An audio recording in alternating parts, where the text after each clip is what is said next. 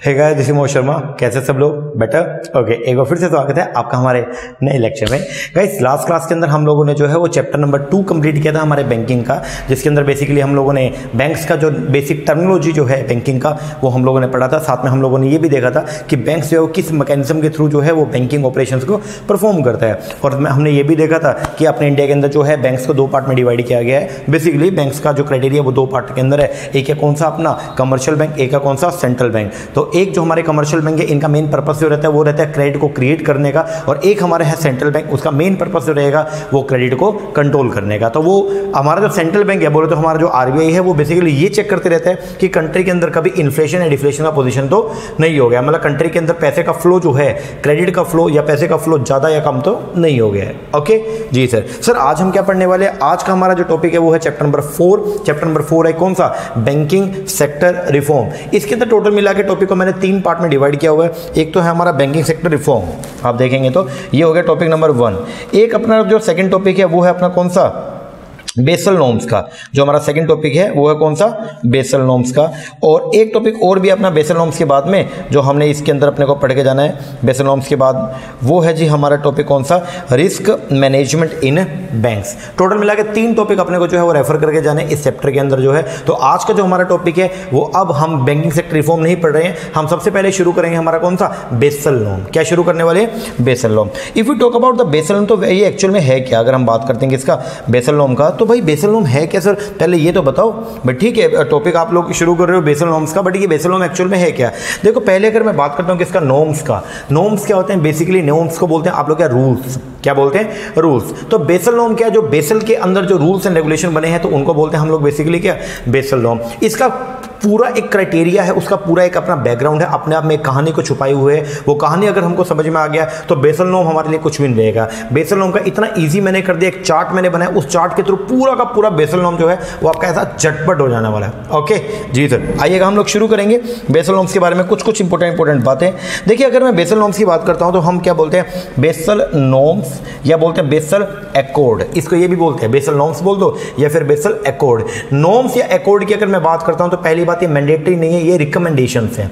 These are only the recommendation recommendation का मतलब ये है कि बैंकों के लिए कुछ नॉर्म्स दिए गए, बैंकों के लिए जो है, कुछ रिकमेंडेशन दी गई हैं। बैंकों के लिए कुछ नॉर्म्स बनाए गए हैं और ये बोला गया, भाई तुम इन इन बातों को जो है वो क्या कर लेना? मान लेना। भाई, अगर तुम इन बातों को मान लो मतलब हम कुछ आपको नॉर्म्स दे रहे हैं, तुम इन इन बातों को अगर फॉलो करोगे तो अच्छा रहेगा, नहीं करोगे तो भी कोई दिक्कत नहीं है। मतलब हमने आपको बेसिकली यहाँ पे क्या प्रोवाइड किया नॉर्म्स दे दिए। हम लोगों ने आपको जो है वो क्या दिए? रिकमेंडेशन दिए और आपको उन रिकमेंडेशन को मानना चाहिए। आपको उन रिकमेंडेशन को क्या करना चाहिए? मानना चाहिए। ठीक है?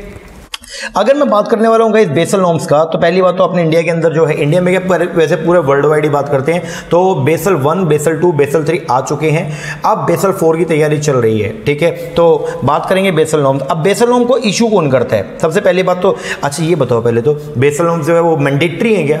या रिकमेंडेटरी है? सर देखो, वैसे तो बेसल नॉर्म्स की बात कर दिया, बेसल नॉर्म्स बोल दिया तो इसका मतलब ये क्या है? रिकमेंडेशन है। But if you talk about India हम इंडिया की अगर बात करते हैं, अपने आरबीआई ने हमारा जो सेंट्रल बैंक है। हमारा जो लाइसेंसिंग अथॉरिटी है, कोई भी बैंक अगर आपको बनाना है, अब अगर आपको कोई भी बैंकिंग ऑपरेशन अगर इंडिया के अंदर जो है करना है, मान लो कोई भी बैंक अगर इंडिया में बैंकिंग का बिज़नेस करने चाहता है तो उसको पहले आरबीआई से जो है वो क्या लेना पड़ता है? लाइसेंस लेना पड़ता है। तो आरबीआई लाइसेंसिंग अथॉरिटी है, ठीक है? आरबीआई सभी बैंकों के पप्पा हैं, ठीक है? और पप्पा की बात मानना पड़ेगा। अगर पप्पा की बात नहीं मानी तो पापा बेदखल कर देंगे तुमको। बोला तो तुम्हारा लाइसेंस जो है, वो कैंसिल कर देंगे। और आरबीआई ने बोल दिया, वैसे बेसल नॉर्म्स रिकमेंडेशन है बट आरबीआई ने इंडिया में सभी बैंकों के लिए जो है वो बेसल नॉर्म्स को क्या कर दिया? कंपल्शन कर दिया। और आरबीआई ने बोल रखा है, जो भी जो भी जो भी शेड्यूल शेड्यूल कमर्शियल बैंक है उसको जो है, वो क्या करना पड़ेगा? बेसल नॉर्म्स की गाइडलाइंस को फॉलो करना पड़ेगा। ओके जी सर सर ये बताओ, ये बेसल नॉर्म्स जो है, वो जारी किसने किए? बेसल नॉर्म्स का इशू किया गया बाय द बीसीबीएस किसने?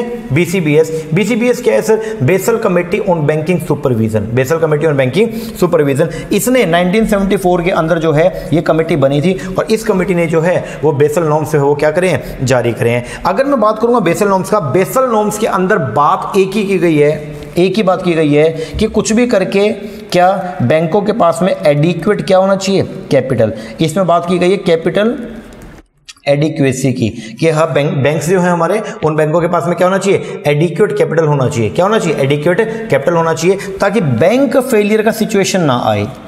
ताकि बैंक फेलियर का सिचुएशन अराइज ना हो। जो भी आप बेसल नॉर्म्स पढ़ेंगे, चाहे बेसल वन पढ़ लो बेसल नॉर्म्स वन पढ़ लो टू पढ़ लो थ्री पढ़ लो, तीनों के अंदर बेसिकली जो बात दी गई है, वो क्या दी गई है? कैपिटल एडिक्यूसी के बारे में कि हर बैंक के पास में जो है वो एडिक्यूट कैपिटल होनी चाहिए। हर बैंक के पास एडिक्यूट कैपिटल हो, ताकि कभी भी बैंक फेलियर का सिचुएशन जो है वो अराइज ना हो। तो पहली बात तो ये हो गया बेसल नॉर्म्स जो है, वो क्या है? रिकमेंडेशन है। But if you talk about the India तो इंडिया के लिए बेसल नॉर्म्स जो है वो मैंडेटरी कर दिया। मतलब हमारे आरबीआई ने जो है, सभी कमर्शियल बैंक को बोल दिया कि आपको बेसल नॉर्म्स की गाइडलाइंस को फॉलो करना पड़ेगा। दूसरा, बेसल नॉर्म्स को वर्ल्ड के अंदर जारी कौन करता है? सर वर्ल्ड में बेसल नॉर्म्स को जारी जो है, वो करता है कौन? बीसीबीएस बीसीबीएस बोले तो Basel committee on banking supervision if you talk about the BCBS Basel committee on banking supervision तो पहले इसका थोड़ा बैकग्राउंड बीसीबीएस 1974 के अंदर बनी थी। ये ये बॉडी जो है बेसिकली बीआईएस के अंडर जो है, वो क्या करती है? काम करती है। अब सर, ये बीआईएस क्या है? बीआईएस का मतलब है बैंक फॉर इंटरनेशनल सेटलमेंट क्या है?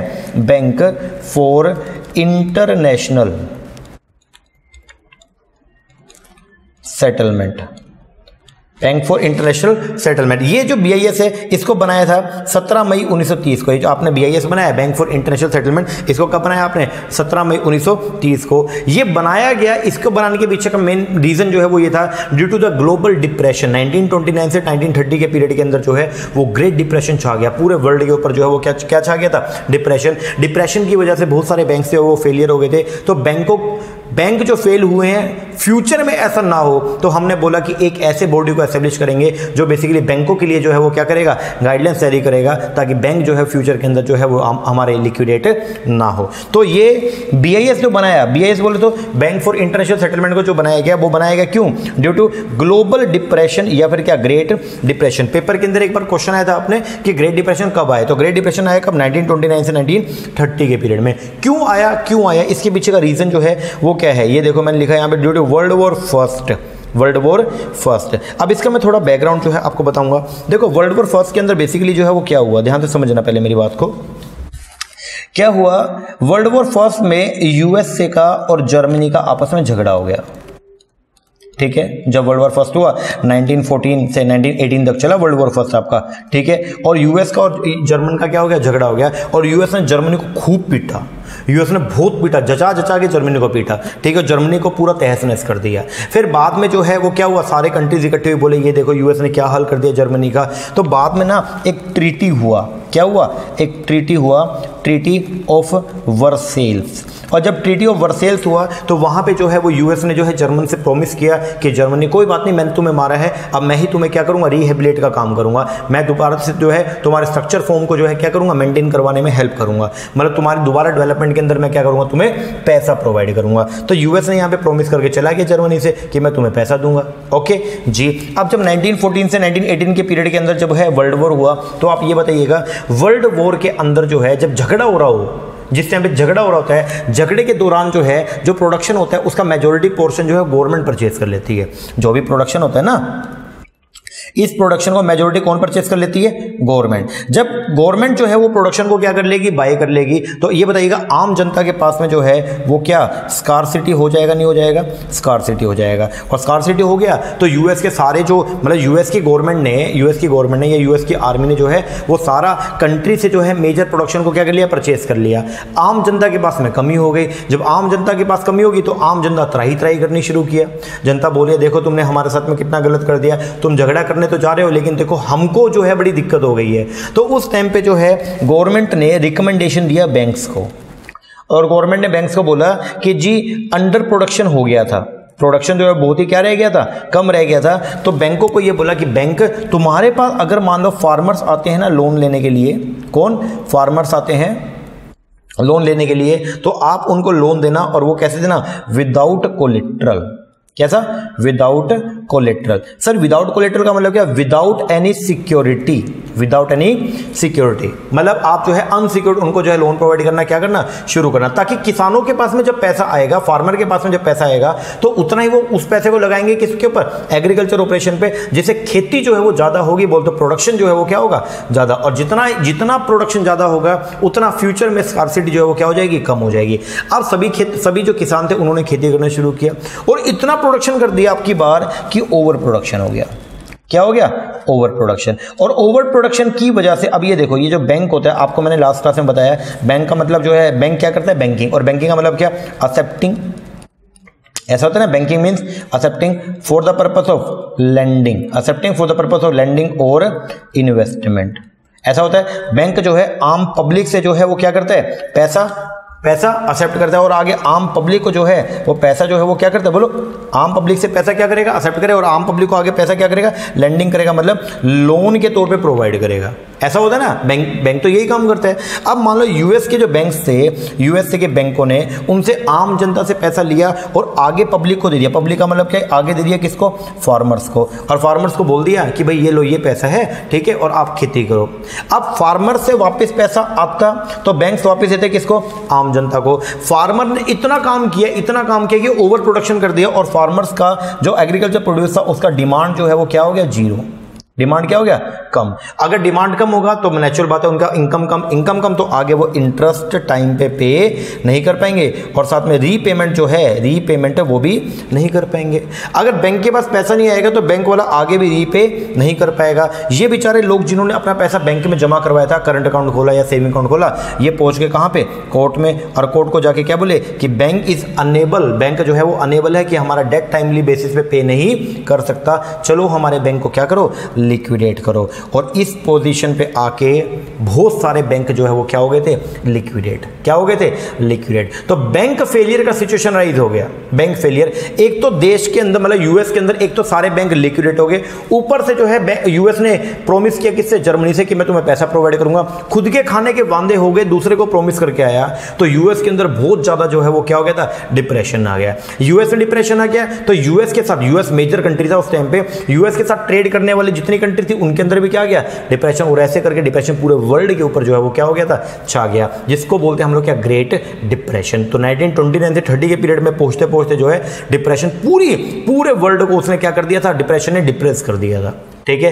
अब क्यों हुआ ऐसा? Due to the bank failure अगर बैंकों के पास में खुद की कैपिटल पड़ी होती खुद की पैसा पड़ा होता, चाहे आगे से फार्मर से पैसा ना आता तो भी इनको, इन आम जनता को मैं मेरा खुद का पैसा दे के और क्या काम चला सकता था, नहीं चला सकता था? चला सकता था। यहाँ पे ये प्रॉब्लम हो गई हमसे। अब प्रॉब्लम जो है वो ये राइज हुई कि बैंकों के पास में खुद का पैसा नहीं था। कैपिटल जो है वो एडिक्यूट हमारे पास में नहीं थी, जिसकी वजह से बैंक से वो जनरली क्या हो गए? फेल हो गए। तो फ्यूचर में ऐसी सिचुएशन दोबारा अराइज ना हो, उसके लिए उसके लिए आठ कंट्री की गवर्नमेंट ने मिल करके आठ कंट्री की इंटर गवर्नमेंटल उन्होंने एक एग्रीमेंट किया और एग्रीमेंट करके बोले कि आइए हम लोग एक बैंक बनाएँगे, एक बॉडी बनाएँगे और बॉडी का नाम रखेंगे क्या? बी आई एस बोले तो बैंक फॉर इंटरनेशनल सेटलमेंट और ये बॉडी बेसिकली क्या करेगी? ये बैंकों के लिए, ये हमारे बैंक्स के लिए जो है, वो क्या करेगी? रिकमेंडेशन जारी करेगी। क्या जारी करेगी? रिकमेंडेशन जारी करेगी, जिसके थ्रू बैंकों को ये बताया जाएगा भाई आपको किस तरीके से जो है वो क्या करना है? काम करना है। कितना कितना आपके पास में एडिक्यूट कैपिटल होना चाहिए। आ रही है समझ में? जी सर। तो ये है जी आपका बेसल नॉर्म्स का थोड़ा सा बेसिक मैं अब शुरू करूँगा तो अब आपको क्लैरिटी लेवल जो और भी बढ़ जाएगा, आइएगा। बेसल नॉर्म्स की अगर बात करते हैं तो पहली बात बेसल नॉर्म्स बोल दो या बेसल एकॉर्ड ये बेसिकली क्या होती है? रिकमेंडेशन होती है, सर। ओके दूसरा बेसल नॉर्म किसने जारी किया? बेसल नॉर्म जारी किया किसने? बीसीबीएस ने। ठीक है? अब ये बीसीबीएस जो है, ये क्या है? ये कमेटी है। कमेटी है कौन सा? बीसीबीएस बोल तो Basel committee on banking supervision ये वर्किंग करती है किसके अंडर? बीआईएस के अंडर। बीआईएस बोले तो bank for international settlement BIS को बनाया था due to the due to global depression या फिर ग्रेट डिप्रेशन ग्रेट डिप्रेशन की वजह से हुआ क्या था? वर्ल्ड वॉर फ़र्स्ट जब हुआ, जब आपका वर्ल्ड वॉर फ़र्स्ट हुआ तो वर्ल्ड वॉर फ़र्स्ट के अंत के वर्ल्ड वॉर फ़र्स्ट जब कंक्लूड हुआ तो यूएस के अंदर जो है प्रोडक्शन की कमी हो गई थी। बैंकों ने जो है फार्मर्स को लोन प्रोवाइड किया, जिसकी वजह से फार्मर ने इतना प्रोडक्शन किया कि अब प्रोडक्शन की कमी की जगह क्या हो गया? ओवर प्रोडक्शन हो गया। और ओवर प्रोडक्शन की वजह से बैंकों की इनकम क्या होगी बहुत कम, जिसकी वजह से जो है बैंक जो है क्या हो गए? फेल हो गए। क्यों? बैंक फेल इसलिए हुई क्योंकि बैंकों के पास खुद का पैसा जो है वो नहीं था। Because due to the low capital adequacy low capital adequacy इस वजह से, इस वजह से बैंक फेलियर की वजह से जो है पूरे वर्ल्ड में डिप्रेशन छाया। बैंक फेलियर की वजह से पूरे वर्ल्ड में डिप्रेशन छाया और उस डिप्रेशन को फ्यूचर में ऐसा डिप्रेशन दोबारा ना छाए। फ्यूचर में सारे बैंक से दोबारा से जो है वो दिवालिया ना हो। उनके लिए जो है 1930 के अंदर जो है 17 मई उन्नीस को एक बॉडी को एस्टेब्लिश किया गया जिसका नाम क्या रखा? B I S bank for international settlement और बीआईएस के अंडर कमेटी बीसीबीएस उसने जारी किया क्या? बेसल नॉर्म्स ओके जी सर, आइएगा। अब हम पढ़ेंगे हमारा थोड़ा सा बेसल नॉर्म्स के बारे में कि बेसल नॉर्म्स बेसिकली बोलते क्या हैं? तो सबसे पहले आएँगे जी बैंक फॉर इंटरनेशनल सेटलमेंट उसकी बोल बच्चन जो है वो पढ़ लेते हैं एक बार B I B I S क्या हो जाए तो ये पेपर में, बहुत बार पेपर में क्वेश्चन भी आया भाई कि बी आई एस बेसिकली है क्या?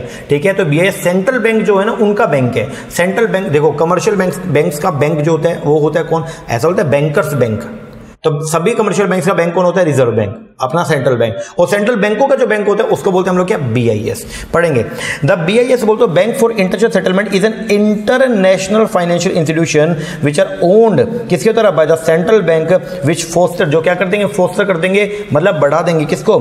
International monetary and financial cooperation and serve as a bank for central bank B I S carry out its work through its meeting programme and through the Basel process hosting the international group pursuing the global financial stability इसका main purpose जो है वो ये है कि global level पे financial stability को क्या करना है? मेंटेन करना है and facilitating their interaction it also provide banking service but only ये बैंकिंग सर्विस प्रोवाइड करता है बट ओनली किसको देते हैं? सेंट्रल बैंक्स को and other international organisation it is based in Basel ये कहाँ पे बेस है? बेसल स्विट्जरलैंड में with representative office in Hong Kong and the Mexico city Basel BIS जो है एस्टेब्लिश हुआ कब? 1930 में बाय द किसके द्वारा? इंटर गवर्नमेंटल एग्रीमेंट कई देशों की गवर्नमेंट ने मिलकर के एक एग्रीमेंट किया कि कौन कौन से? Germany Belgium, France, UK, Italy, Japan, US and Switzerland. और बाद में इसने जो है अपने डोर्स ओपन कर दिए कब? 17 मई 1930 को। और कहाँ पे? बेसल। बेसल एक जगह का नाम है कहाँ पे? स्विट्जरलैंड में। ये है जी कहानी किसकी? बीआईएस की। पेपर के लिए आपको जो पढ़ के जाना है, एक तो बीआईएस का full form much much relevant है। वो क्या हुआ है? बैंक फॉर इंटरनेशनल सेटलमेंट दूसरा, आया कब? सत्रह मई उन्नीस को। क्यों बनाया गया? क्यों बनाया गया? ताकि बैंकों के लिए क्या करेगा? रिकमेंडेशन जारी करेगा basically global financial stability maintain करने के लिए इसको बनाया गया। दूसरा, ये सेंट्रल बैंक्स का जो है वो क्या है? बैंक्स है। और सबसे खास बात जो है इसकी वो ये है कि ये जब बनाया था तो आठ देशों की गवर्नमेंट ने जो है वो क्या किया? एक एग्रीमेंट किया। उसको बोलते हैं इंटर गवर्नमेंटल एग्रीमेंट करके। इसके बाद की कहानी जो है वो क्या? B C B S B C B S बोलते Basel committee on banking supervision अब ये बी सी बी एस क्या बोलते है? The Basel committee on banking supervision is a committee. Basel committee on banking supervision एक committee है किसकी? Banking supervisory authority की। That was establish by the central bank governor जिसको एस्टेब्लिश किया किसने? सेंट्रल बैंक के गवर्नर से of the group of ten G ten country के जो गवर्नर थे उन्होंने 1974 के अंदर एक कमेटी बनाया। कमेटी का नाम जो है वो क्या है? BCBS it provide a forum ये बेसिकली आपको एक फोरम प्रोवाइड करती है। फोरम का मतलब होता है आपको एक प्लेटफॉर्म देती है। क्या देती है? प्लेटफॉर्म देती है, जहाँ पर हम रेगुलर वे में जो है वो क्या करेंगे? एक दूसरे के साथ कोऑपरेशन करते हैं। किसके ऊपर? On the banking supervisory matter तो बीसीबीएस बेसिकली क्या प्रोवाइड करेगा? आपको एक फोरम प्रोवाइड करेगा, जहाँ पे मिलकर के कई सारे देशों के लोग आएँगे और आ करके क्या करेंगे? वो ग्लोबल बैंकिंग सुपरवाइजरी मैटर्स के ऊपर क्या करते हैं? आपस में डिस्कशन करते हैं। इसका जो मेन ऑब्जेक्टिव है वो क्या है? Is to enhance the understanding of the key supervisory issue and improve the quality of the banking supervision worldwide the committee frames guidelines highlight करेंगे। कमेटी जो है वो फ्रेम करती है क्या? Guidelines and standard in the different different area some of the better known among them are the international standard on the capital adequacy जिसको बोलते हैं हम लोग क्या? बेसल नॉर्म्स और the core principle for effective banking supervision and the concordat on the cross border banking supervision the committee का जो secretariat है, वो कहाँ पे लोकेटेड है? बीआईएस में। BIS in Basel, Switzerland. However, BIS and the Basel Committee remains two distinct entity. वैसे तो इसका जो कमेटी का जो सेक्रेटरीट है वो बैठता है कहाँ पे आपका? बेसल BIS के अंदर ही। लेकिन वैसे बोलने में ये बोलते हैं कि BIS और जो आपका BCBS है वो दोनों के दोनों क्या है? अलग अलग है। ओके?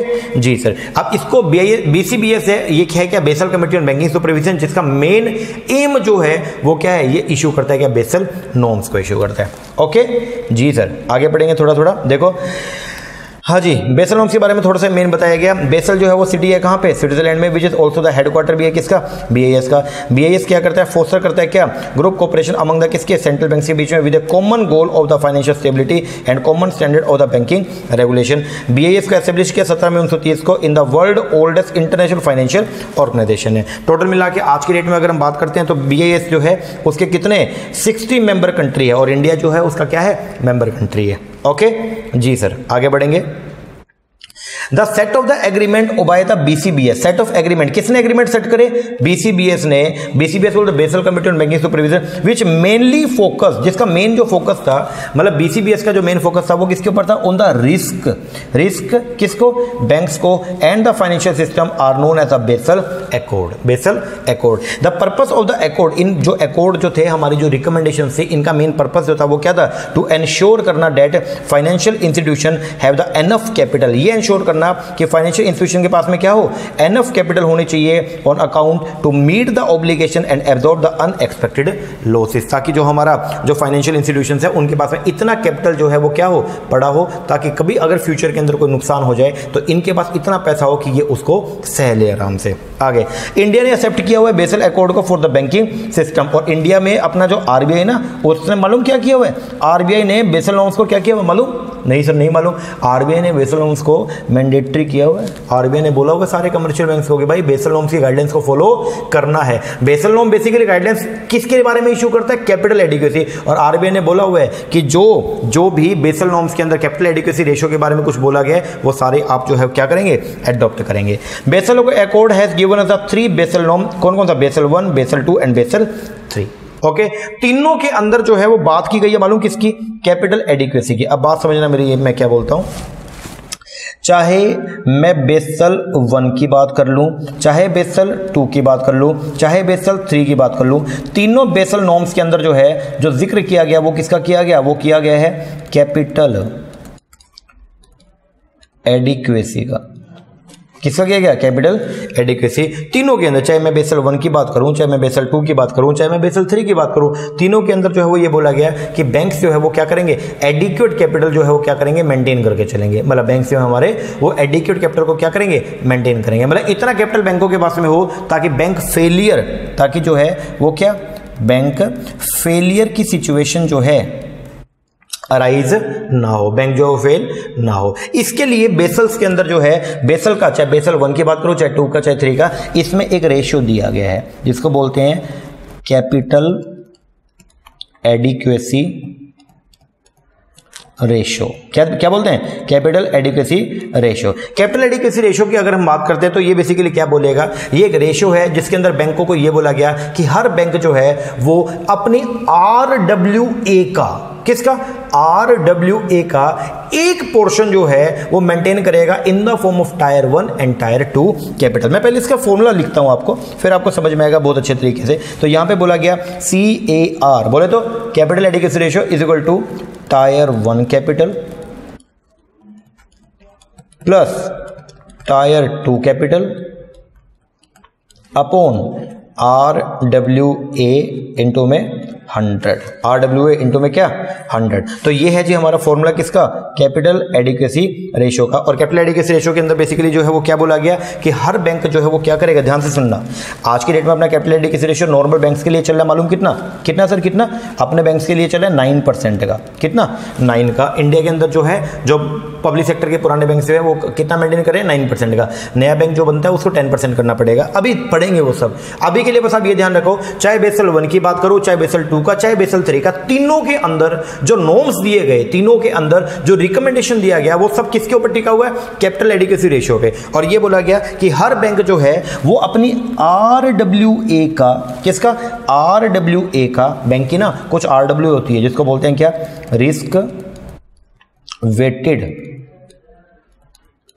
एसेट्स तो ये बोला गया, हर बैंक अपनी आर डब्ल्यू ए का एक पोर्शन एक पोर्शन मेंटेन करेगा in the form of tier one capital and in the form of tier two capital मतलब आप जो है, आपका आर डब्ल्यू है, जैसे मान लो नो परसेंट ना, अगर आपका आर डब्ल्यू कितना आ गया हंड्रेड आ गया तो आप जो है अपनी आर डब्ल्यू का कितना, नो परसेंट बोले तो नाइन की कम से कम आपकी कैपिटल होनी चाहिए। नाइन में दोनों होंगी टायर वन भी होगी और टायर टू भी होगी।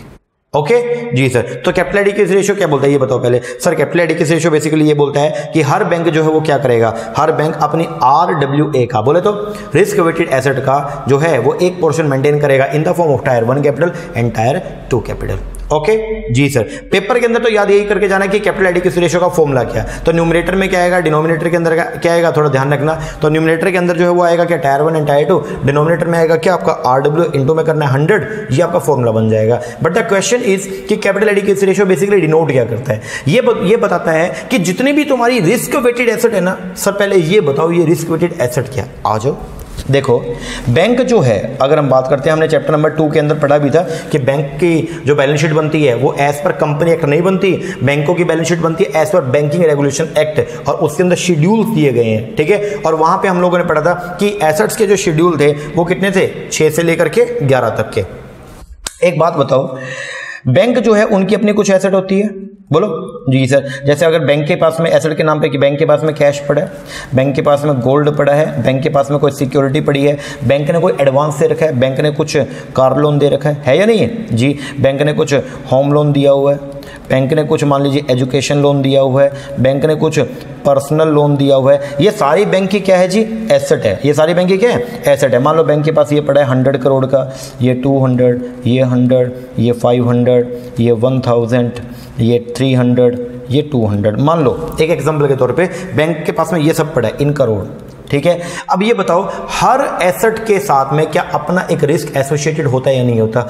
क्या सारी एसेट्स में सेम रिस्क होता है? या सबका अलग अलग होता है? सर सेम कहाँ से होता है? सभी का अलग अलग होता है। तो अलग अलग होता है तो जैसे मान लो कैश कैश में अगर मैं रिस्क की बात करता हूँ तो कैश में रिस्क ज़ीरो है। क्योंकि मेरे पास पड़ा ही हार्ड कैश पड़ा। है गोल्ड की बात करूँगा तो गोल्ड का रेट ऊपर नीचे हो सकता है। मान लो गोल्ड में पॉइंट वन ज़ीरो दस परसेंट का रिस्क है। अच्छा सिक्योरिटी की अगर बात करूँगा तो क्या इसमें थोड़ा सा ज़्यादा रिस्क है। कार लोन के अंदर डूबने का खतरा है, मान लो दस परसेंट, ठीक है पॉइंट वन ज़ीरो का। होम लोन का में डूबने का डूबने का खतरा है, मान लो टेन परसेंट। एजुकेशन के अंदर मान लो ट्वेंटी परसेंट। पर्सनल लोन में मान लो थर्टी परसेंट। अब ये बेसिकली मैंने क्या किया? ये मेरी एसेट्स का वैल्यू है। ये ये जो है मेरी क्या है? एसेट्स की वैल्यू। मैंने मेरी एसेट्स की वैल्यू को मल्टीप्लाई कर दिया किससे? एसोसिएटेड रिस्क के साथ में। और यहाँ पे मेरा जो है वो इनका क्या गया? रिस्क वेटेड एसेट आ गई। ठीक है? इन सबको मैं एक बार लिखता हूँ, मान लो, ये तो आ गया ज़ीरो ये आ गया कितना? ट्वेंटी ये आ गया कितना? ट्वेंटी ये आ गया कितना? फिफ्टी ये आ गया कितना? हंड्रेड ये आ गया कितना? सिक्सटी और ये आ गया कितना? सिक्सटी ठीक है? इनको अगर मैं जोड़ूं तो कितना हो गया? फोर्टी फोर्टी फोर्टी फोर्टी और fifty ninety, one ninety one ninety और सिक्सटी, कितना हो गया? एक सौ नब्बे और साठ, ढाई सौ और ढाई सौ और ये तीन सौ दस। ये तीन सौ दस जो आया ना, तीन सौ दस करोड़, इसको बोलते हैं आर डब्ल्यू ए। ये क्या है अपना? Risk weighted asset. Risk weighted asset. Risk weighted asset का मतलब क्या? बैंक की जो एसेट है ना, उससे एसोसिएटेड रिस्क, वो हमने ले लिया आरडब्ल्यू अब करना क्या होगा? हर बैंक को अपनी आरडब्ल्यू निकालनी पड़ेगी। हर बैंक को अपना आरडब्ल्यू निकालना पड़ेगा और जितनी भी उस कंसर्न बैंक की आरडब्ल्यू आएगी, उसका हर बैंक को अपना नाइन परसेंट मेंटेन करना पड़ेगा in the form of tier one and tier two वो टायर वन टायर टू में क्या आएगा, वो भी आगे देखेंगे, लेकिन अभी के लिए बस ये ध्यान रखिए कि कैपिटल एडिकेसी रेशियो जो है, चाहे बेसल वन की बात कर लूँ, चाहे बेसल टू का, चाहे बेसल थ्री का, तीनों के अंदर जो है वो बेसिकली नॉर्म्स जो दिया गया, वो क्या दिया गया कि कैपिटल एडिकेसी रेशियो और ये बोला गया क्या कि हर बैंक को अपनी, हर बैंक को अपनी रिस्क वेटेड एसेट का एक पोर्शन जो है, एक पोर्शन मेंटेन करना पड़ेगा in the form of capital बोल दो टायर वन और एक किसमें टायर टू में। लेकिन दोनों का जोड़ जो है वो कितना होगा? नाइन परसेंट होगा। Okay okay? जी सर तो बेसल नॉर्म्स बेसिकली क्या है? रिकमेंडेशन है, जिसको दिया गया बेसिकली ताकि बैंक जो है फ्यूचर के अंदर फेल ना हो। तो बैंकों के पास में एडिक्यूट कैपिटल पड़ी होनी चाहिए और उस एडिक्यूट कैपिटल के लिए अपने इंडिया के अंदर एक ना रेशो बनाया गया, जिसका नाम क्या रखा गया? कैपिटल एडिक्यूसी रेशो जिसमें यह बोला गया, हर बैंक के पास में एडिक्यूट कैपिटल जो है वो एस्टेब्लिश्ड होनी चाहिए। ओके जी सर ये है जी हमारा बेसल का बेसिक बेसिक हमारा कंप्लीट हो गया. नेक्स्ट क्लास के अंदर हम लोग जो है पढ़ेंगे Basel one Basel two Basel three और साथ में बेसल थ्री की गाइडेंस को पूरा करने के लिए इंडियन गवर्नमेंट ने 2015 के अंदर एक प्लान लेके थे जिसका नाम था इंद्रधनुष प्लान जो 2019 तक चलना था, इकतीस दिन 2019 तक तो वो अपने को पढ़ना है टोटल मिला के जो है, और बाकी का जो टॉपिक है, वो हम करेंगे अपनी नेक्स्ट क्लास में. तो नेक्स्ट क्लास के अंदर हम Basel one Basel two Basel three plus में इंद्रधनुष पढ़ने वाले ओके तो ये हो गया हमारा बेसल का बेसिक इसको जल्दी से कीजिए। लेक्चर कैसा लगा है कमेंट करके ज़रूर बताइएगा। अच्छा लगा है अच्छा अच्छा कमेंट कीजिएगा। कुछ कमी लगी है, ज़रूर बताइएगा, उसको सही करने का काम करेंगे। दूसरा, आज से हम लोग जो है हमारी टेलीग्राम पे हमने हम लोगों ने ग्रुप बनाया तो उसके ऊपर हम लोग जो है ऑडियो लेक्चर्स की शुरुआत कर रहे हैं रिवीजन के ऑडियोज तो जिन्होंने हमारा बैच नहीं भी लिया हुआ तो वो भी रिवीजन जो है वहाँ से कर सकते हैं, ठीक है? तो हर एक चैप्टर की रिवीजन के ऑडियोज हम वहाँ पे डालेंगे। तो आप अगर चाहें तो वहाँ से प्रैक्टिस भी कर सकते हैं अपना। ओके जी तो चलो, ये कीजिएगा, बाकी मिलते हैं हमारे नेक्स्ट सेक्शन में, तब तक के लिए थैंक यू वेरी मच